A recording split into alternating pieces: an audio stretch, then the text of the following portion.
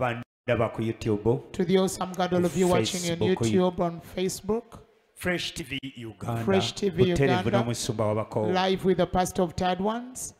sobwa sunday Don't miss Sunday, ejjudde amaanyi filled with power of the prayer of Exodus, okufuula ky'olina ofuuka transforming into whom you have to be in the name of Jesus. jangu tumaliriza okusaba are completing our fasting ezisembayo of seven days, mu mwezi. the last days of the month gibadde emyezi mukaaga.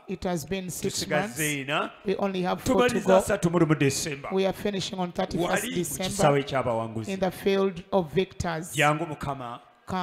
Akuggyeyo and the Lord will bring mu you ndagaano ezo out of those covenants, and He will change you into whom you have to be, and you will inherit your promises in the name of Jesus, and you will help many other people. zigenda okuwera nnya By 10 a.m., you should be in this place. You'll be in the grace of repentance, olw'obulamu and bwo interceding for your life, ekisa kya katonda. and the grace of God. Then between mbeere ng'ate 11 and midnight, I will be leading you into new grace by the Holy Spirit.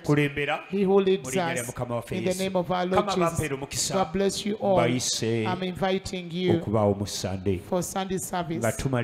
As we finish seven days of prayer and fasting. Come in the prayer of Exodus.